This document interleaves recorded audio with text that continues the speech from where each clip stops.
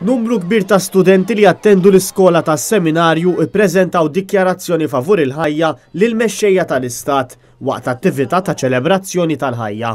Din is-sena l-iskola għażlu li jiċċelebraw it-tema ta' favur il-ħajja fejn wara l-messaġġi li ngħataw mill-President ta' Malta Mary Louise Coleiro Preca u l-Arċisqof Charles Scicluna, l-istudenti ppreżentaw din id-dikjarazzjoni favur il-ħajja lid-Deputat Nazzjonalista Ivan Bartolo.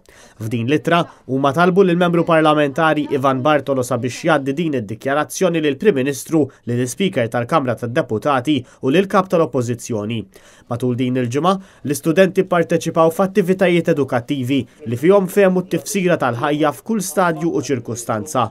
ġew mgħallma dwar kif kull bniedem hu uniku u maħluq minn Alla, ġew edukati dwar kif għandhom jirrispettaw id-differenzi li jagħmluna uniċi, filwaqt li jirrispettaw l-ambjent naturali ta' madwarna. Matul dan il-jum b'din it-tema partikolari tal-ġimgħa, l-istudenti tas-Seminarju tal-Primarja kellhom ġurnata mimlija sport flimkien mal-ġenituri tagħhom, filwaqt li l-istudenti tas-Sekondarja kellhom numru ta' workshops u diskussjonijiet biex japprezzaw lil diversi nies li għaddejjin bi problemi soċjali.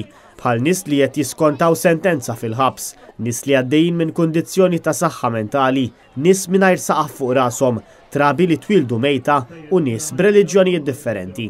Matul il-ġimgħa ta' bejn id-9 ta' April u t-12 ta' April inġabar ikel biex jingħata donazzjoni lill-Food Bank fil-Belt Valletta, dan filwaqt li kopja uffiċjali tal-liżar ta' Kristu li jinsab f'Turin tpoġġiet fil-kappella biex l-istudenti jiġu nkoraġġati jitolbu.